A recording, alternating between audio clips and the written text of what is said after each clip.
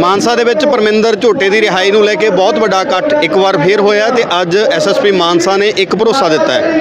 ਪਰਮਿੰਦਰ ਝੋਟੇ ਦੇ ਪਿਤਾ ਜੀ ਤੇ ਕੁਝ ਸਮਰਥਕ ਸਾਡੇ ਨਾਲ ਸ਼ਾਮਲ ਹੈ ਇਹਨਾਂ ਤੋਂ ਜਾਣਦੇ ਆ ਇਹ ਭਰੋਸੇ ਤੋਂ ਕਿੰਨੇ ਕੁ ਖੁਸ਼ ਨੇ। ਸ੍ਰੀ ਅਕਾਲ ਜੀ। ਐਸਐਸਪੀ ਸਾਹਿਬ ਨੇ ਅੱਜ ਜਿਹੜਾ ਭਰੋਸਾ ਦਿੱਤਾ ਹੈ ਕਿਵੇਂ ਲੱਗਦਾ ਤੁਹਾਨੂੰ? ਨਾਨਕ ਸਿੰਘ ਐਸਐਸਪੀ ਮਾਨਸਾ। ਜੀ। ਇਹਨੂੰ ਅਸੀਂ ਕਾਫੀ ਦੇਰ ਤੋਂ ਜਾਣਦੇ ਆ ਇਹ ਸਾਨੂੰ ਬੁੱਧੂ ਬਣਾ ਗਿਆ ਏ ਇਹ ਤੇ ਕੋਈ ਸਾਨੂੰ ਯਕੀਨ ਨਹੀਂ, ਕੋਈ ਭਰੋਸਾ ਨਹੀਂ। 5-7 ਦਿਨ ਨੂੰ ਕਰਾਂਗੇ। ਉਹ ਮਦਈ ਨਹੀਂ ਮਿਲ ਰਿਹਾ, ਉਹ ਫੌਰਨ ਗਿਆ, ਫਲਾਨਾ ਗਿਆ। ਇਹ ਗੱਲਾਂ 'ਚ ਤਾਂ ਨਾ ਹੀ ਆਉਂਦਾ। ਇਹ ਬਿਲਕੁਲ ਗਲਤ ਹੈ। ਸਾਨੂੰ ਕੋਈ ਭਰੋਸਾ ਨਹੀਂ। ਮੈਂ ਆਪਦੇ ਵਚਨਾਂ ਤੇ ਪੱਕਾ। ਅਸੀਂ ਕੱਲਾ ਪ੍ਰਬੰਧਰ ਨੂੰ ਰਿਹਾ ਕਰਾਉਣ ਦੀ ਗੱਲ ਨਹੀਂ।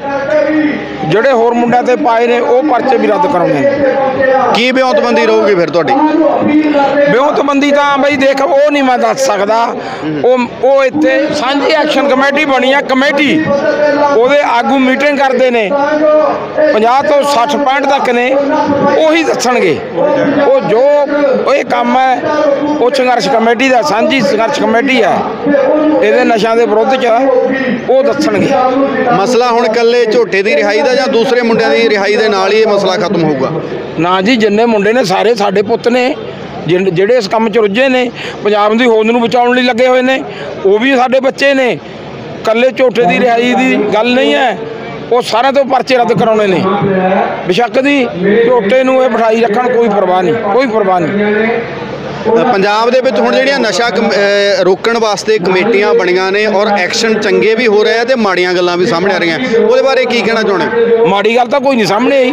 ਕੁਛ ਕਿ ਇਹੋ ਜਿਹੀਆਂ ਘਟਨਾਵਾਂ ਜਿਵੇਂ ਉਹ ਵਾਪਰ ਗਈ ਹੈ ਉਹ ਇੱਕ ਮੁੰਡਾ ਮਰ ਗਿਆ ਹੈ। ਹਾਂ ਇਹ ਕਹੋ ਨਾ ਉਹ ਮੁੰਡਾ ਆਪਣਾ ਢਿਲਮਾ ਖੁਰਦ ਤੋਂ ਗਰੀਬ ਪਰਿਵਾਰ ਦਾ ਮੁੰਡਾ ਸੀ ਤੇ ਮੁੰਡਾ ਬਹੁਤ ਕਾਬਲ ਸੀ। ਉਸ ਨੂੰ ਉੱਥੇ ਵੀ ਪ੍ਰਬੰਧਰ ਬਣਾ ਕੇ ਆਇਆ ਸੀ ਫਰੀਦਕੋਟ ਜ਼ਿਲ੍ਹੇ ਸਾਦਕ ਦੇ ਕੋਲ ਢਿਲਮਾ ਖੁਰਦ ਉਹਨਾਂ ਨੇ ਸੱਦਿਆ ਸੀ ਤੇ ਗੱਡੀ ਲੈ ਕੇ ਗਏ ਸੀ, ਸਾਰੇ ਜਾਣਦੇ ਨੂੰ ਚੰਗੀ ਤਰ੍ਹਾਂ। ਅਸੀਂ ਵੀ ਉੱਥੇ ਤਿੰਨ ਵਾਰ ਜਾਏ ਆਏ, ਤਾਂ ਉਹ ਅੱਜ ਉਹ ਬੈਠੇ ਨੇ ਆਏ। ਉਹ ਮੁੰਡੇ ਨੂੰ ਸਰਕਾਰ ਦੀਆਂ ਏਜੰਸੀਆਂ, ਪੁਲਿਸ ਪ੍ਰਸ਼ਾਸਨ, ਇਹ ਗੁੰਡਿਆਂ ਲੋਕਾਂ ਨੇ ਉਹਨੂੰ ਭਰੇ ਜਿਵੇਂ ਇਕੱਠ ਦੇ ਵਿੱਚ, ਪੰਚਾਇਤ ਦੇ ਵਿੱਚ ਗੋਲੀ ਮਾਰ ਕੇ ਮਾਰਿਆ ਗਿਆ। ਇਹਦੇ ਵਿੱਚ ਉੱਥੇ ਦੀ ਪੁਲਿਸ ਵੀ ਬੇਬਸ ਹੋ ਗਈ ਹੈ। ਵੀ ਜਿਹੜੀ ਉਹ ਬਹੁਤ ਵੱਡੀ ਗੱਡੀ ਹੈ ਬੜੀ ਮਹਿੰਗੀ। ਤੇ ਉਹ ਗੱਡੀ ਕਿਸੇ ਬੋਕਰ ਵਾਲੇ, ਕਿਸੇ ਵੱਡੇ ਆਦਮੀ ਦੀ ਹੈ ਉਹ ਨਹੀਂ ਵਿੱਚ ਪਾਇਆ ਗਿਆ। ਤੇ ਉਹ ਤੋਂ ਬਾਅਦ ਜਿਹਨੇ ਉਹਨੂੰ ਪਿਸਤੌਲ ਤੇ ਉਹਦੇ ਚ ਗੋਲੀਆਂ ਦਿੱਤੀਆਂ ਨੇ ਉਹਦੀ ਵੀ ਪੁਲਿਸ ਨੇ ਕੋਈ ਤਹਿਕੀਕਾਤ ਕੀਤੀ ਨਹੀਂ। ਉਹ ਤੋਂ ਬਾਅਦ ਪੁਲਿਸ ਨੇ ਜਦੋਂ ਉਹਨੂੰ ਥੋੜਾ ਜਿਹਾ ਕਾਰਡਾ ਹੋ ਕੇ ਪੁੱਛਿਆ, ਉਹਦੇ ਘਰੋਂ ਤਕੜੀ ਮਾਤਰਾ 'ਚ ਅਸਲਾ ਮਿਲਿਆ। ਇਹਨਾਂ ਮੁੰਡਿਆਂ ਨੂੰ ਮਾਰਨ ਵਾਸਤੇ ਹੀ ਤੇ ਉਹ ਪੁਲਿਸ ਨੇ ਲੁਕੋ ਛੁਪਾ ਲਿਆ। ਜਨਤਕ ਨਹੀਂ ਕੀਤਾ। ਫਿਰ ਉਹਦੇ ਘਰੋਂ ਤਕੜੀ ਮਾਤਰਾ ਚਿੱਟਾ ਦੇ ਸਮੈਕ ਵੀ ਮਿਲਿਆ, ਵੱਡੀ ਖੇਪ। ਉਹ ਵੀ ਜਨਤਕ ਨਹੀਂ ਕੀਤੀ। ਇਹਨਾਂ ਤੋਂ ਕੋਈ ਸਾਨੂੰ ਆਸ ਨਹੀਂ ਤੇ ਉਹ ਮੁੰਡੇ ਨੂੰ ਮਰਵਾਉਣ ਦੇ ਵਿੱਚ ਪੰਜਾਬ ਸਰਕਾਰ ਦਾ ਹੱਥ ਹੈ। ਕਿਉਂ? ਉਹ 50 ਲੱਖ ਦੀ ਗੱਡੀ, ਨਵੀਂ ਗੱਡੀ ਉੱਥੇ ਖੜੀ ਸੀ ਥਾਣੇ 'ਚ। ਆ ਸਾਡੇ ਮੁੰਡਿਆਂ ਦੀਆਂ ਫੋਟੋਆਂ ਵੀ ਲਈਆਂ ਨੇ। ਉਹ ਗੱਡੀ ਆਮ ਵਿਅਕਤੀ ਕੋਲੇ ਨਹੀਂ ਆ ਸਕਦੀ। ਉਹ ਗੱਡੀ ਫੜੀ ਗਈ। ਤੇ ਇਹ ਇਹ ਨਸ਼ਿਆਂ ਨੂੰ ਤਾਂ ਸਰਕਾਰ ਨਹੀਂ ਬੰਦ ਕਰਦੀ। ਇਹ ਨਸ਼ਿਆਂ ਨੂੰ ਪੰਜਾਬ ਪੁਲਿਸ ਨਹੀਂ ਬੰਦ ਕਰਦੀ।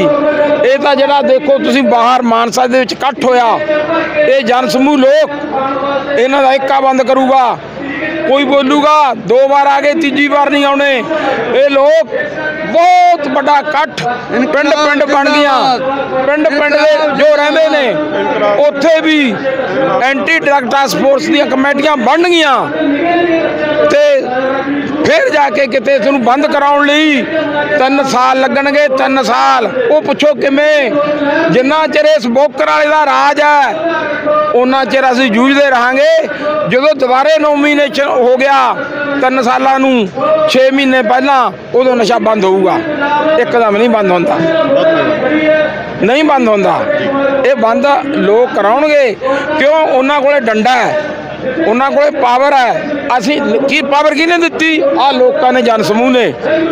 ਇਹ ਲਾਉਣਾ ਵੀ ਜਾਣਦੇ ਨੇ। ਨਸ਼ਾ ਬੰਦ ਸਰਕਾਰਾਂ ਤੇ ਪੁਲਿਸ ਨਹੀਂ ਕਰਾਉਂਦੀ। ਆ ਲੋਕਾਂ ਦਾ ਹਜੂਮ ਕਰਾਊਗਾ। ਵੇਖ ਲਓ ਨਿਗਾਹ ਮਾਰ ਕੇ ਕਿਤੇ ਤਿਲ ਸੁੱਟਣ ਨੂੰ ਥਾਂ ਨਹੀਂ। ਕੱਲ ਨੂੰ ਇਹ ਕਹਿਣਗੇ 20 25 ਹਜ਼ਾਰ ਦਾ ਇਕੱਠ ਸੀ। 50 60 ਲੱਖ 50 60 ਹਜ਼ਾਰ ਦਾ ਇਕੱਠ ਹੈ। ਮੈਂ ਇਹਨਾਂ ਨੂੰ ਪੁੱਛੋ ਬਾਹਰ ਲਿਜਾ ਕੇ ਛੋਟੀ ਮਾਨਸਾ ਤੱਕ ਦੇਖ ਕੇ ਮੈਨੂੰ ਕਹਿੰਦੇ ਸਟੇਜ ਤੇ ਬੈਠ, ਮੈਂ ਸਟੇਜ ਤੇ ਬੈਠਣ ਦਾ ਕੀ ਹੈ? ਲੋਕ ਗੱਡੀਆਂ, ਟਰਾਲੀਆਂ 'ਚ ਬੈਠੇ ਸੁਣੀ ਜਾਂਦੇ ਨੇ, ਆਰਾਮ ਨਾਲ ਇਹ ਸੁਣ ਰਹੇ ਨੇ। ਬਹੁਤ ਵੱਡਾ ਬਾਜ਼ਾਰ 'ਚ ਵੀ ਇਕੱਠ ਹੈ। ਹਜੇ ਵੀ ਲੋਕ ਆ ਰਹੇ ਨੇ।